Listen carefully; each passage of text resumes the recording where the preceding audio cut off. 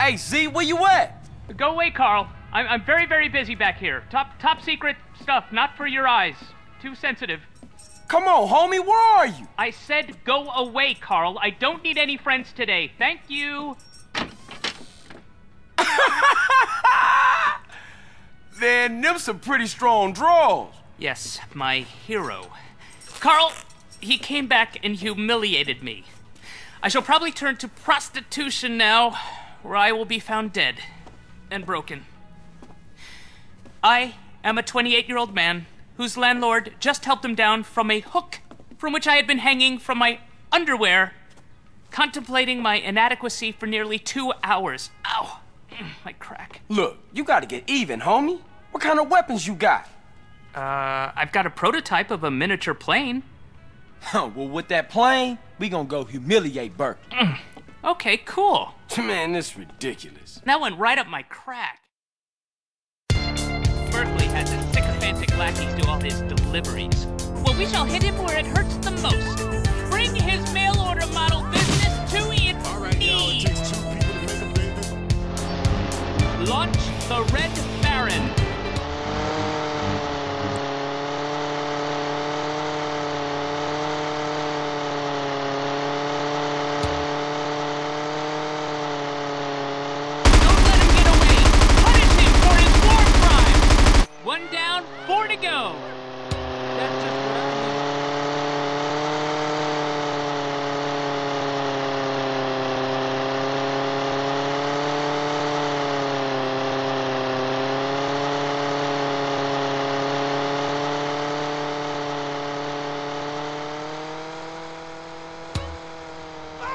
wanted this shit.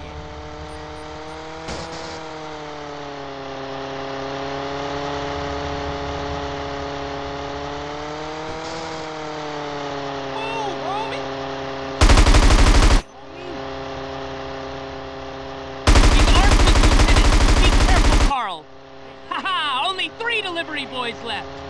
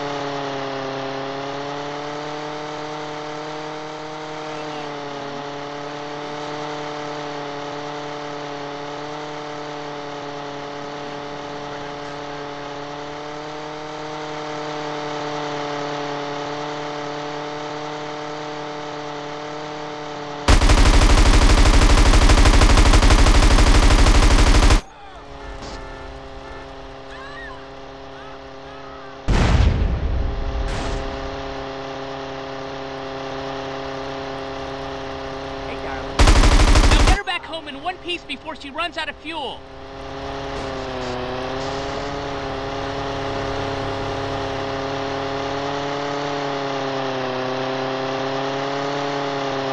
Watch your fuel, Carl. Only half a tank left.